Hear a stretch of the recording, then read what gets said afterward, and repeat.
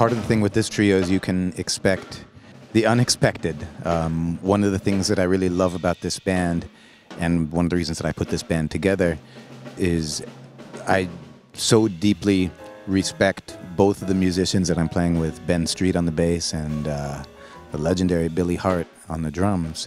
And the way that they both play, um, I wanted to create a context where they're free to play however they want. And so it changes a lot from night to night with this band.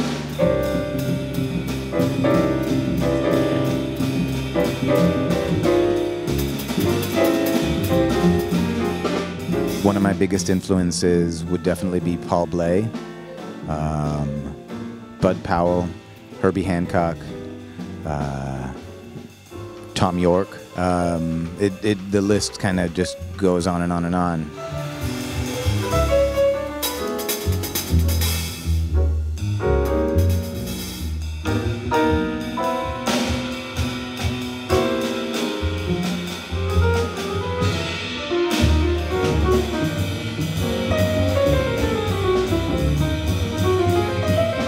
and there's still so much uh, digging and so much deeper to go in each of these directions. I mean, my new record uh, that just came out yesterday, actually, uh, Little Big, is um, more of a rock-based and uh, song-based uh, approach, and I'm really interested in exploring that more. I have uh, many more songs and finding the intersection where that improvisation meets these um, much more structured aspects.